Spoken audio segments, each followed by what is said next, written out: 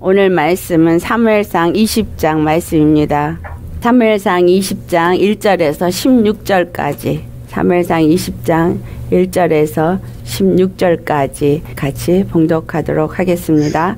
다윗이 라마 나엿에서 도망하여 요나단에게 이르되 내가 무엇을 하였으며 내 죄악이 무엇이며 내 아버지 앞에서 내 죄가 무엇이기에 그가 내 생명을 찾느냐? 요나단이 그에게 이르되 결단코 아니라 내가 죽지 아니하리라. 내 아버지께서 크고 작은 일을 내게 알리지 아니하고는 행하지 아니하나니 내 아버지께서 어찌하여 이 일을 내게 숨기리요 그렇지 아니하니라. 다윗이 또 맹세하여 이르되 내가 내게 은혜 받은 줄을 내 아버지께서 밝히 알고 스스로 이르기를 요나단이 슬퍼할까? 두려운즉 그에게 이것을 알리지 아니하리라 함이니라. 그러나 진실로 여호와의 살아계심과 내 생명을 두고 맹세하노니 나와 죽음의 사이는 한 걸음뿐이니라. 요나단이 다윗에게 이르되 내 마음의 소원이 무엇이든지 내가 너를 위하여 그것을 이루리라. 다윗이 요나단에게 이르되 내일은 초하루인즉 내가 마땅히 왕을 모시고 앉아 식사를 하여야 할 것이나 나를 보내어 셋째 날 저녁까지 들에 숨게 하고 내 아버지께서 만일 나에 대하여 자세히 묻거든 그때 너는 말하기를 다윗이 자기 성읍 베들레헴으로 급히 가기를 내게 허락하라 간청하였사오니 이는 온 가족을 위하여 거기서 매년제를 드릴 때가 되민이다 하라 그의 말이 좋다 하면 내 종이 평안하려니와 그가 만일 노하면 나를 해하려고 결심한 줄을 알지니 그런즉 바라건대 내 종에게 인자하게 행하라. 내가 내 종에게 여호와 앞에서 너와 맹약하게 하였음이니라. 그러나 내게 죄악이 있으면 내가 친히 나를 죽이라. 나를 내 아버지에게로 데려갈 이유가 무엇이냐 하니라. 요나단이 이르되 이 일이 결코 내게 일어나 지 아니하리라. 내 아버지께서 너를 해치려 확실히 결심한 줄 알면 내가 내게 와서 그것을 내게 이르지 아니하겠느냐 하니 다윗이 요나단에게 이르되 내 아버지께서 혹 엄하게 내게 대답하면 누가 그것을 내게 알리겠느냐 하더라. 요나단이 다윗에게 이르되 오라 우리가 들러 가자 하고 두 사람이 들러 가니라 요나단이 다윗에게 이르되 이스라엘의 하나님 여호와께서 증언하시거니와 내가 내일이나 모레 이맘때에 내 아버지를 살펴서 너 다윗에게 대한 의향이 선하면 내가 사람을 보내어 내게 알리지 않겠느냐? 그러나 만일 내 아버지께서 너를 해치려 하였는데도 내가 이를 내게 알려주어 너를 보내어 평안히 가게 하지 아니하면 여호와께서 나 요나단에게 벌을 내리시고 또 내리시기를 원하노라 여호와께서 내 아버지와 함께 하신 것 같이 너와 함께 하시기를 원하노니 너는 내가 사는 날 동안에 여호와의 인자하심을 내게 베풀어서 나를 죽지 않게 할 뿐 아니라 여호와께서 너 다윗의 대적들을 지면에서 다 끊어 버리신 때에도 너는 내 인자함을 내 집에서 영원히 끊어 버리지 말라 하고 이에 요나단이 다윗의 집과 언약하기를 여호와께서는 다윗의 대적들을 치시 주실지어다 하니라. 아멘. 자, 우리 오늘 이 사무엘상 20장 1절을 보니까 다윗이 라마나엿에서부터 도망을 하여서 요나단에 이르렀다라는 말씀을 보게 됩니다. 다윗이 사울에게 피하면 그곳에서 자기가 목숨을 구할 수 있을 거라라고 생각을 하고 사무엘에게 피했습니다. 그런데 그곳까지 사울이 찾아와서 비록 예언의 영이 임하여서 그가 그 죽음에서 모면하였지만 그래도 그 죽음에서부터 그가 벗어날 수 있다고 생각을 하지 못해서 이제는 요나단에게로 다시 나오게 됩니다. 이 모습을 우리가 보면서 우리 신앙과 함께 생각을 해보겠습니다. 나에게 죽음의 사망 권세가 쫓아다닐 때 어떤 곳에서 그것을 이길 수 있다고 피하느냐라는 거예요. 이 다윗의 여정을 통해서 주님은 우리에게 하나하나 모든 것을 가르쳐 줍니다. 하나님의 영이 임한 사람, 하나님의 사람에게 피하면은 거기서 내가 뭔가 구원을 얻을 것이다. 라고 생각을 하였어요. 그런데 그곳에서도 그는 구원을 받지 못했어요. 그 다음에 사울 왕의 아들에게 가서 그가 피하면 혹 같이 맹세를 하고 사랑의 언약을 나누었으니까 살 수 있지 않겠느냐. 라고 하면서 요나단에게 나아갑니다. 자, 요나단에게 나아갔다라는 것은 율법으로 말미암아서 우리에게 끊임없는 사망의 권세자가 사망으로 찾아오고 있는 그 사울 앞에서 내가 취하는 행동입니다. 육체의 예법이 우리를 늘 따라다닙니다. 우리를 따라다니면서 육체의 예법이 하는 일은 끊임없이 육의 것을 생각하게 하고 육체의 정욕은 내 안에서 끊임없이 올라옵니다. 육체의 정욕이 끊임없이 올라오면서 계속해서 사망의 권세 아래서 두려워하고 떨게끔 한다는 거예요. 육체의 예법은 우리의 육체가 사는 날 동안에 계속 우리에게 역사합니다. 이러한 육체의 예법 속에서 내가 끊임없이 쫓겨다니는 모습은 사망 권세자 아래에 놓여질 수밖에 없는 육체를 가진 존재라는 것을 말씀하고 있습니다. 참으로 우리가 예수님을 믿고 하나님의 기름 부음을 받았으나 기름 부음을 받았다 할지라도 우리 육체는 여전히 연약하다는 거예요. 오늘날 다윗이 하나님의 기름 부음을 받았지만 이가 지금 온전한 하나님의 영으로 인도받는 하나님의 통치권 안에 들어간 자임을 스스로 본인이 알고 있느냐 하면 아직 모르고 있다는 거예요. 아직 어리다는 거예요. 물론 만군의 여호와 이름으로 나아가서 블레셋을 무찌르기도 하고 승리를 하기도 합니다. 우리가 예수 이름을 가지면 예수 이름을 귀신도 쫓아내고 그 권세를 맛보기도 합니다.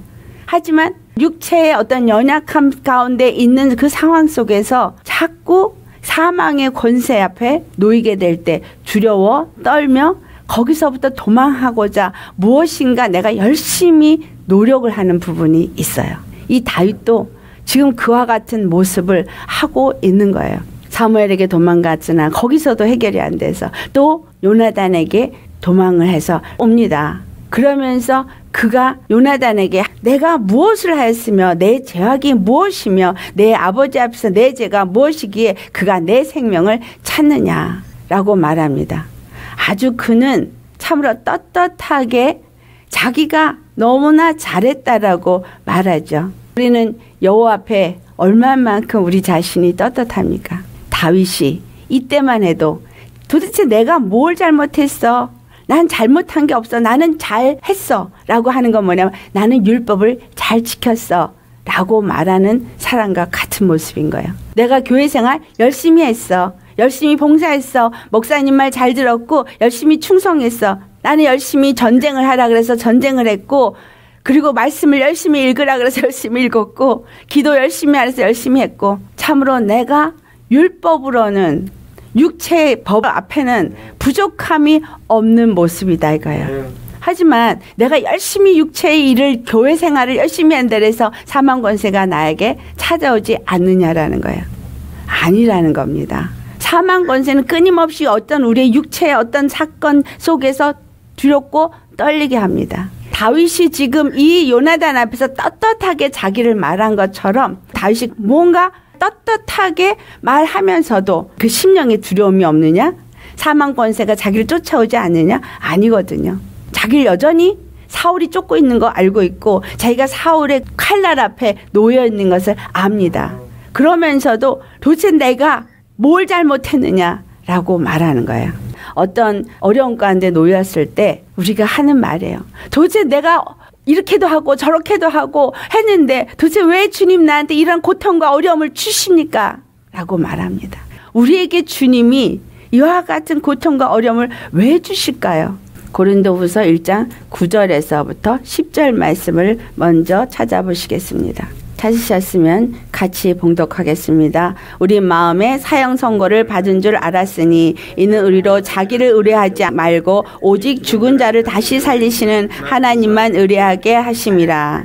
그가 이같이 큰 사망에서 우리를 건지셨고 또 건지시리라. 아멘. 오늘 이 말씀을 보니까 예수 그리스도 안에서 우리가 건짐을 받은 얘기를 하고 있습니다. 그의 마음에 사망 선고를 받은 줄을 아는 거. 다윗이 지금 사울의 칼날 앞에서 쫓기고 있는 상태를 말하고 있고 우리의 육체의 연약함이 계속해서 사망을 요구하고 있다라는 걸 압니다. 그런데 이러한 가운데 우리를 두신 것은 이는 우리로 자기를 의뢰하지 말고 오직 죽은 자를 다시 살리시는 하나님만 의뢰하게 하심이라. 우리의 어떤 행위를 의뢰하지 말라는 거예요. 내가 어떤 일을 잘했다는 것을 의뢰하는 것이 아니라 나의 의, 나의 어떤 힘, 나의 능력, 어떤 경험 이거 의지하지 말라는 거예요. 다윗이 죽일 때 사자와 곰의 이빨에서도 여호와께서 나를 건지셨나이다. 내가 그를 돌로 쳐서 그들을 죽였습니다. 그래서 난 나가서 할 수 있습니다. 처음에 우리는 예수님을 믿으면 의기충천합니다. 아멘. 의기충천해서 뭐든지 다 할 수 있을 것 같아요. 예수님의 이름으로 나가서 두려움 없이 담대하게 막 일을 합니다. 그런데 주님은 그럴 때에도 믿음으로 주님의 은혜를 입은 자가 행할 것을 행하게 함으로 인해서 경험을 하고 이기는 경험을 합니다. 제가 아주 열심히 귀신 많이 쫓았어요. 그리고 교회 충성 봉사 아주 열심히 많이 했습니다. 그런데 나만을 의지하지 않고 예수님만을 의지하는 그러한 자는 되지 않았다라는 거예요. 내 안에서 그와 같은 일을 하고 나니까 무슨 마음이 내 안에 생겼느냐 하면 이 다윗이 지금 요나단 앞에서 내가 도대체 뭘 잘못했느냐? 내가 한 것은 이스라엘의 구원을 위해서 싸운 것밖에 없지 않느냐? 라고 한 것처럼 주님 앞에 잘하였다 라는 마음밖에는 없었어요. 상이 크겠다 라고 생각을 했습니다. 누가 함께 하기 때문에 승리가 있을 수 있었어요? 여호와가 다윗과 함께하였기 때문에 그 기름 부음 때문에 그가 승리가 있었지 자기의 어떤 힘이나 자기의 능력이 아닙니다. 그러나 이와 같이 자기 안에서 자기 마음으로 나도 모르게 이 일을 했구나라는 자기 자랑스러운 마음이 올라오더라는 거예요.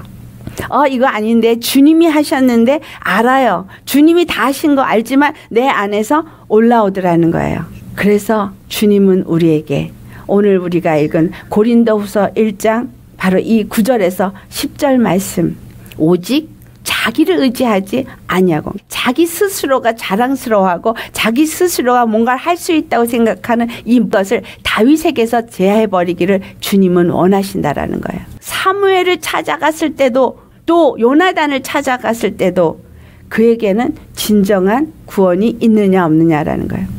우리가 예수님 안에서 오직 나를 구원하실 일은 한 분 예수님 뿐이라는 것을 알아야 됩니다. 성령의 능력이 뛰어나고 기름 부음이 능력이 뛰어난 목사님 그늘 앞에 간다고 살을 수 있는 것도 아니요. 네. 또 나하고 뭔가 정말 형제 간의 사랑을 뜨겁게 하면서 그래서 사랑 안에서 맹약을 하고 사랑의 교제라는 믿음의 사람과 함께 한다고 해서 구원을 받는 것도 아닙니다. 오직 누가 우리를 구원하시느냐?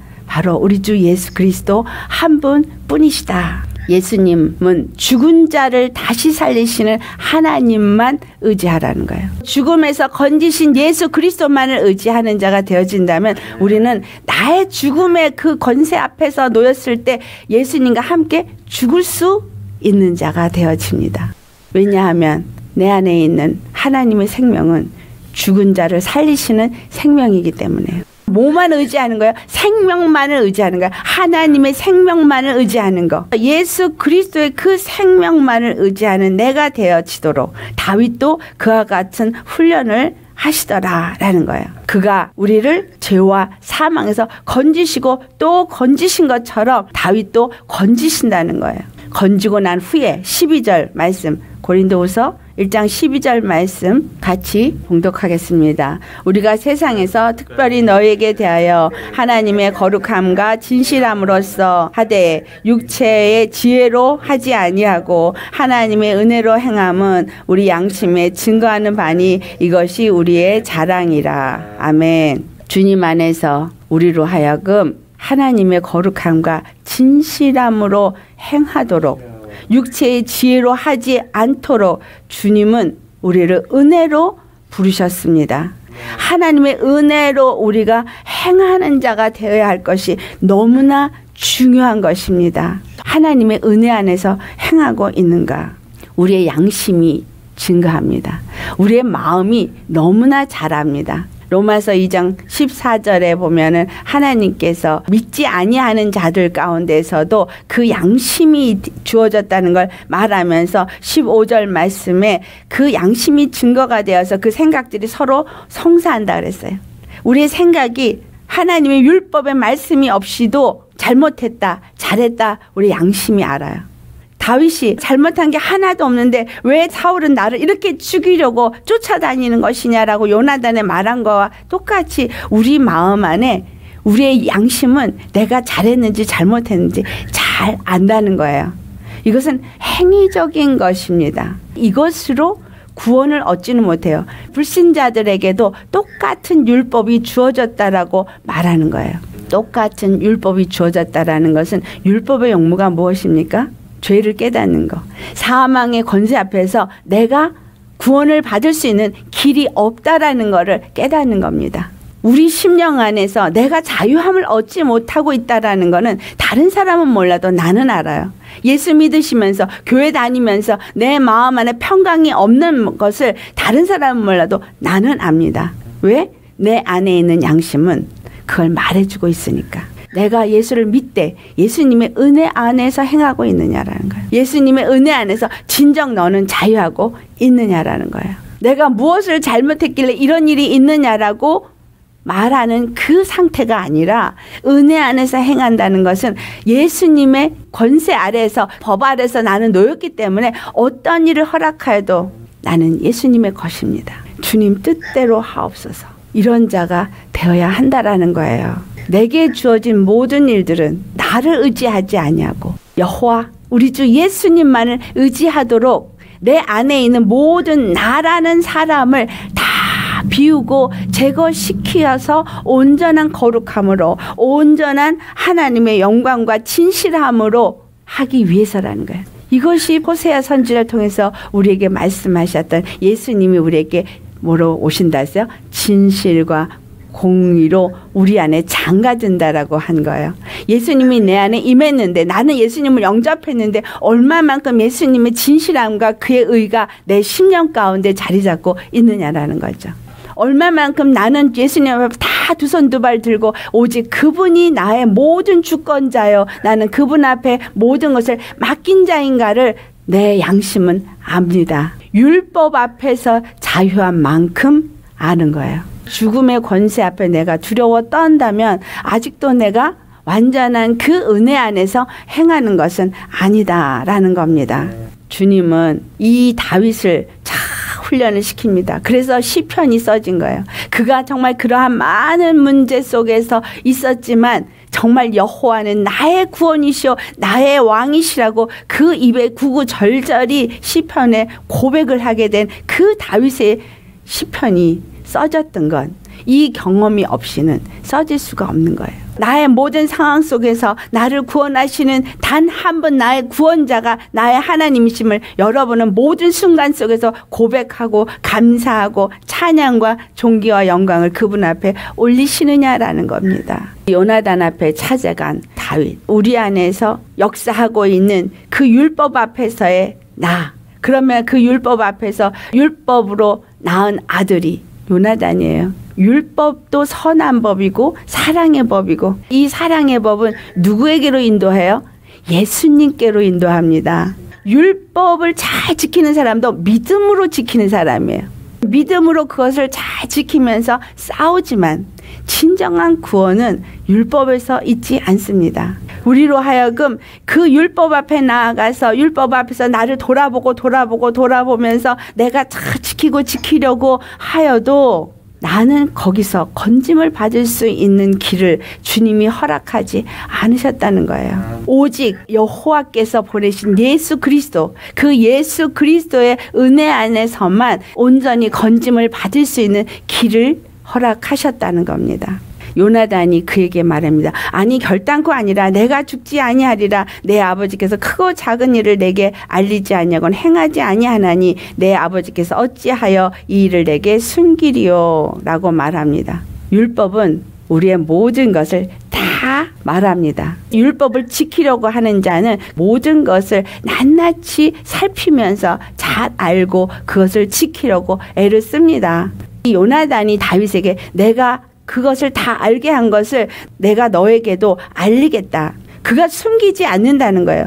그러니까 내가 그것을 알게 되면 내가 어찌 너에게 이것을 말하지 않겠느냐 한 것처럼 우리에게 이 말씀을 다 낱낱이 낱낱이 드러내서 알게 하는 것은 무엇이냐면 우리 안에 있는 믿음입니다. 내 안에 있는 믿음, 하나님의 말씀을 내가 믿음으로 받을 때에는 그 말씀이 내 안에 있는 죄악을 낱낱이 다 드러내서 알게 합니다. 그것을 다 드러내서 알게 할 때 나는 거기에 어떤 반응을 보일 것이냐는 거야. 율법에서 낳은 믿음이 바로 요나단의 역할입니다. 율법에서 낳은 믿음은 나의 죄를 낱낱이 알게 해서 내 안에 있는 양심은 나를 책망하고 그리고 나를 송사합니다. 그러면서 나로 하여금 죄 의식을 갖게 해요. 그런데 그 죄 의식에서 머물러 있으면 구원이 없는 거예요. 우리의 구원은 어디로 가야 되냐? 저 십자가 앞으로만 가야 되는 거예요.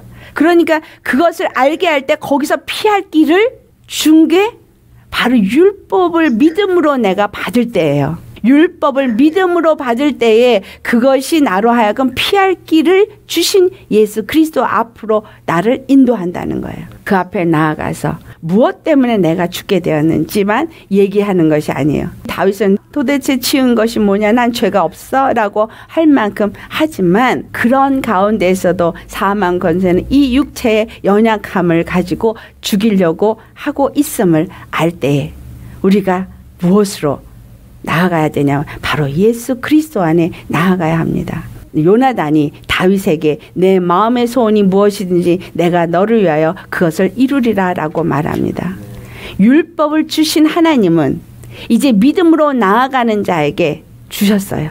무엇이든지 원하는 대로 다 그것을 얻도록 이루시겠다는 약속을 하셨어요. 그리고 그 약속대로 오셨습니다. 그 오신 분이 누구예요? 예수님. 그분이 오셨어요. 그분이 오셔서 십자가에서 당신 자신을 못 박으시고 이제 길을 주십니다. 그와 같은 그 내가 살 수 있는 제시가 무엇인지를 다윗이 요나단에게 얘기를 합니다.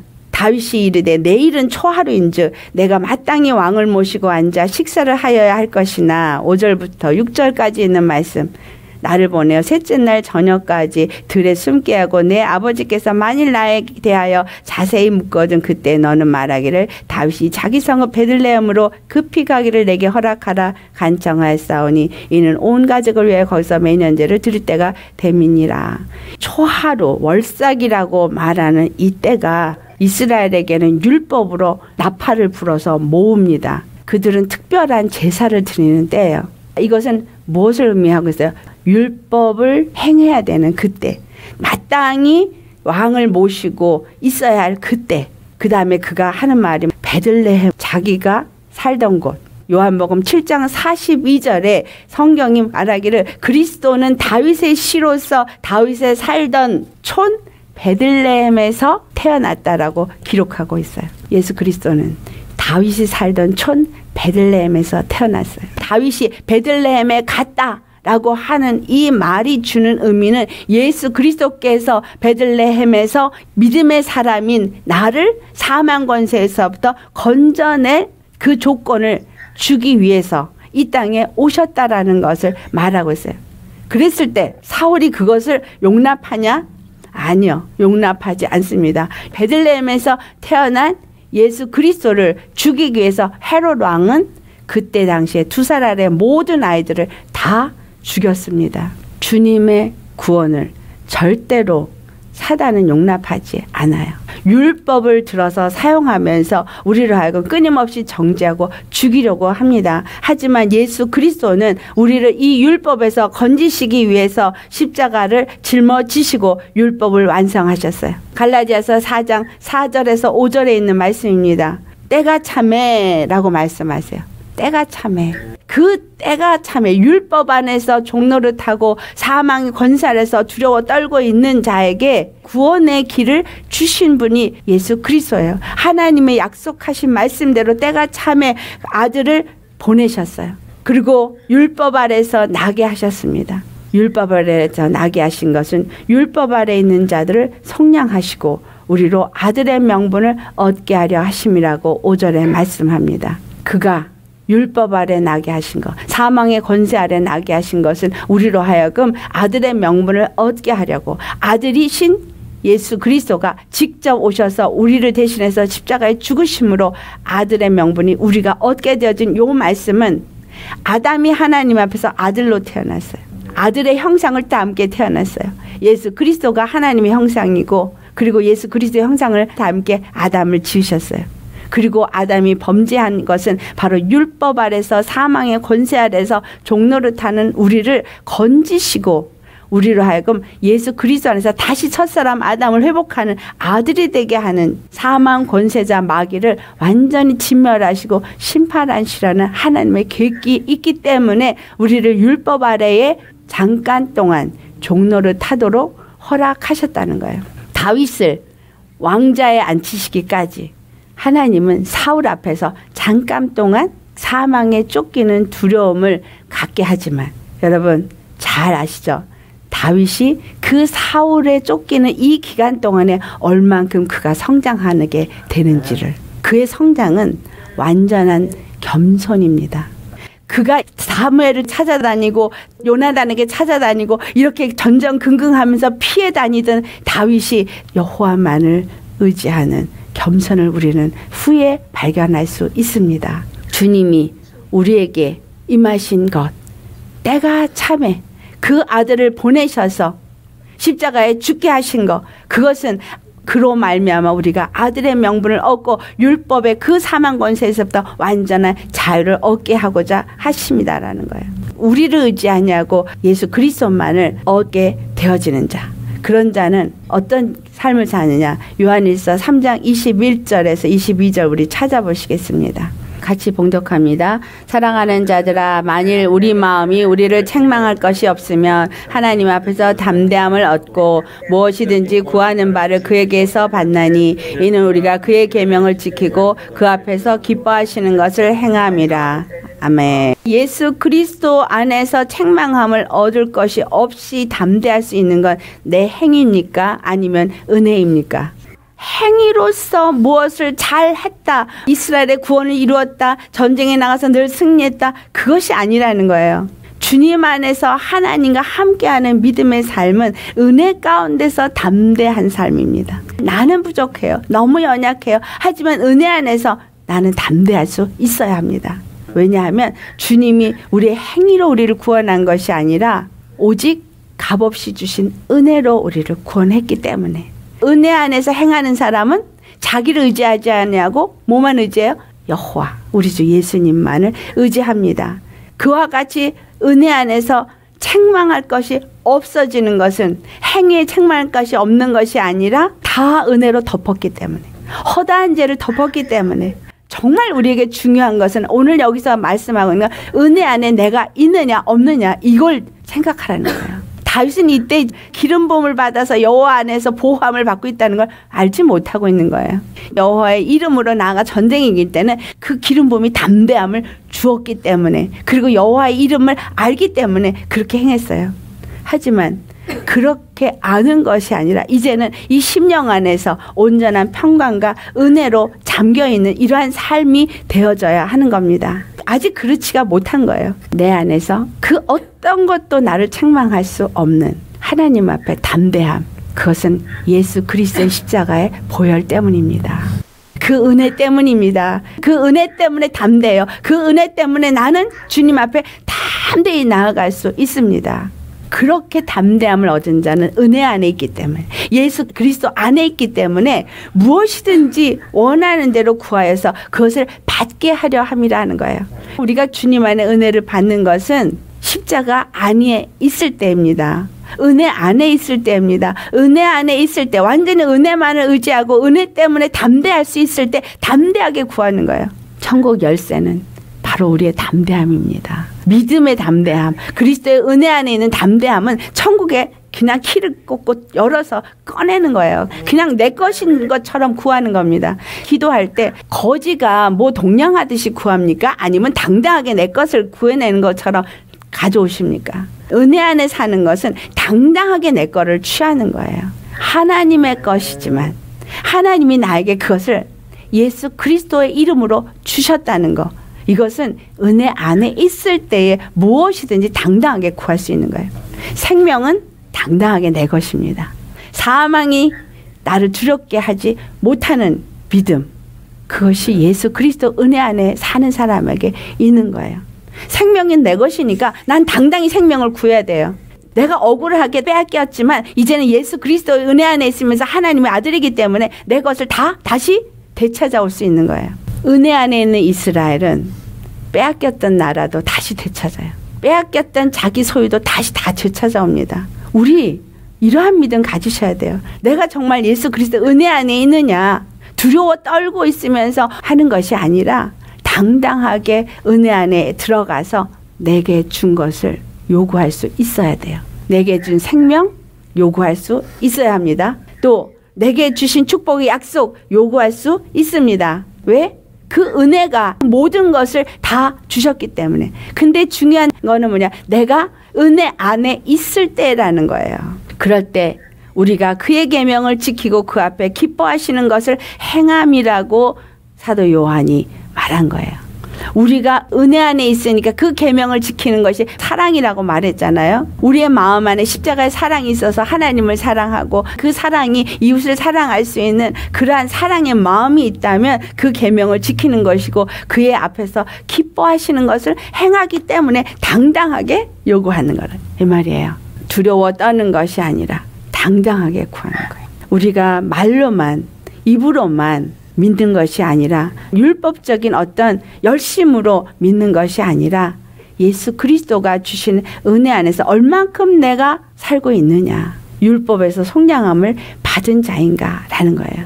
7절 말씀 사울이 만약에 그걸 듣고도 좋다 하면 내 종이 평안하려니와 그가 만일 노하면 나를 해하려고 결심한 줄을 알지니 예수 그리스도의 은혜 안에 있으면 여러분 심령이 평안하죠. 율법에서 노임을 받았으면 평안합니다. 율법이 나를 절대로 정죄할 수 없기 때문에 율법이 나를 죽일 수가 없기 때문에 우리는 평안해요.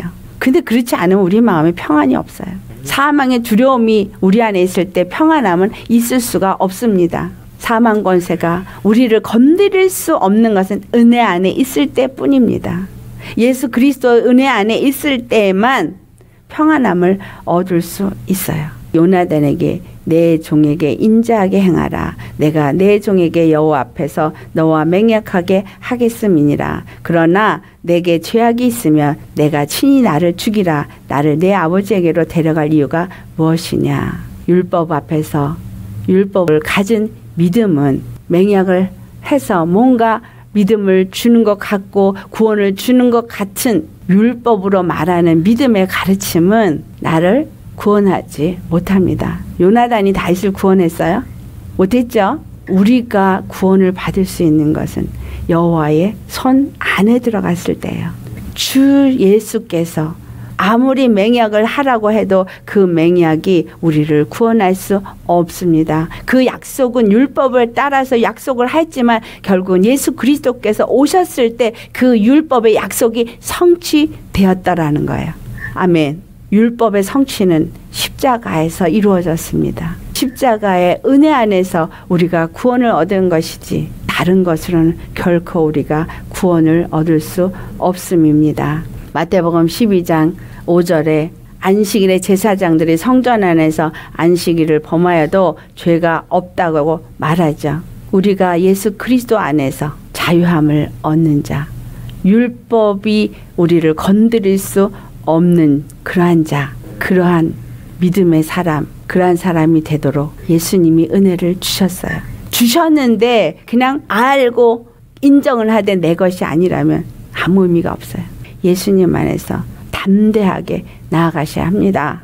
요나단이 다윗에게 우리가 들러 가자. 우리의 인생은 광야길입니다. 근데 이 광야길에 계속해서 우리에게 가르쳐 주는 건 율법이 나로 하여금 예수 그리스도 안에 들어가야지만 산다는 것을 가르쳐 줍니다. 12절로부터는 요나단이 오히려 다윗에게 약속하라고 합니다. 무슨 약속을 하라고 합니까? 요나단이 아버지께서 해치려고 하는 것을 알려주지 않으면 요나단이 벌을 받게 된다라는 얘기를 하죠. 그리고 벌을 내리시기를 원한다. 하지만 그는 축복을 합니다. 여호와께서 내 아버지와 함께 하신 것까지 너와 함께 하기를 원하노니 그러면서 14절에서부터 그가 말합니다.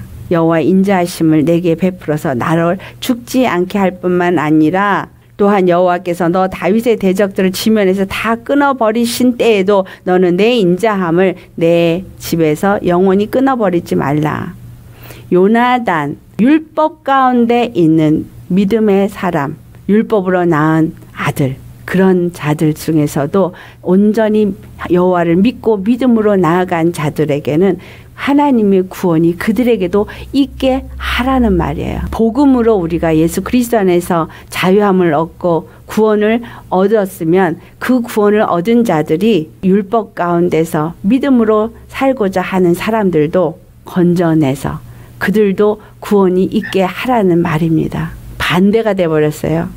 요나단이 다윗을 죽일 수도 있고 살릴 수 있는 권세가 있는 것 같았었는데 거꾸로 지금 요나단은 다윗에게 네가 이제 하나님의 기름 부음과 인자하심이 너에게 있음으로 인해서 이제는 내 자손을 지켜주라는 말을 합니다. 우리가 받은 은혜. 실제로 선택된 이스라엘 백성들이 받은 은혜와는 비교할 수 없는 은혜입니다. 우리가 예수님을 만나고 예수 그리스도의 은혜를 입은 자로서 이제 구원을 얻고 그 은혜에 맛보는 사랑 안에 거하는 자들이 되었을 때 우리는 또한 바로 이와 같이 율법의 믿음으로 살려고 하는 자들을 구원해내는 일에 쓰임을 받아야 합니다. 이 광야길에 오직 우리가 나아가야 할 것은 십자가의 은혜 가운데 내가 있음을 끊임없이 깨닫고 발견하고 은혜 안에서 거하는 훈련을 해야 합니다.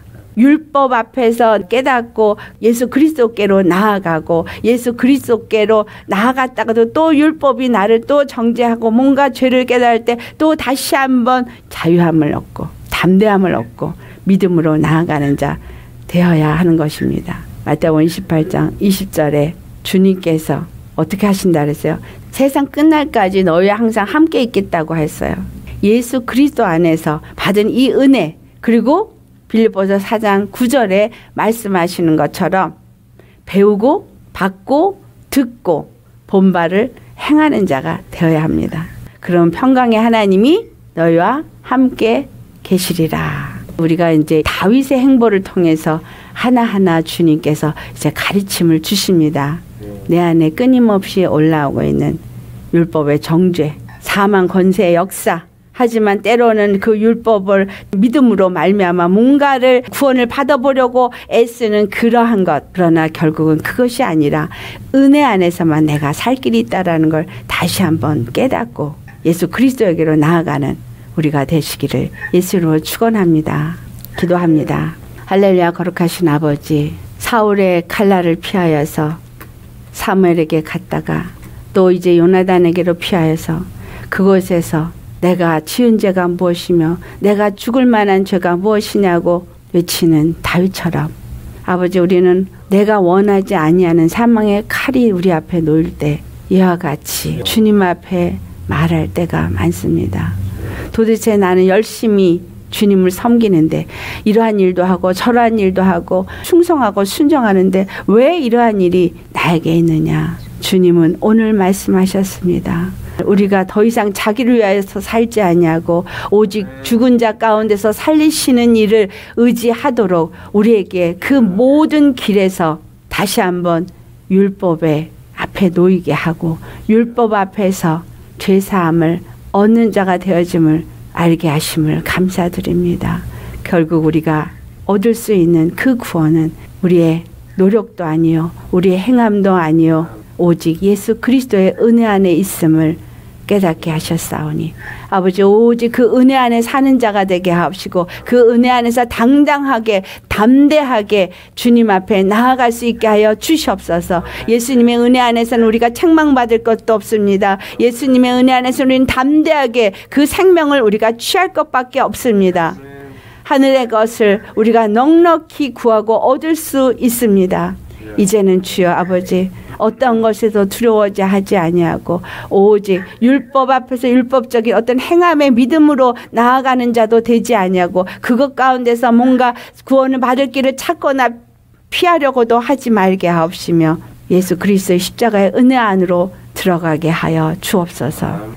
주님은 때가 참에 예수 그리스도를 이 땅에 보내시고 율법 아래 나게 하신 것은 율법 아래 매여서 종살이를 하는 우리들에게 아들의 명분을 얻게 하려 하시며니 이제는 그 아들의 권세를 사용하고 아들의 명분을 사용할 수 있는 은혜 안에 거하는 믿음의 사람이 되어져서 오히려 거꾸로 율법의 믿음으로 나아가는 자들을 축복하고 구원할 수 있는 자가 되게 하여 주시옵소서.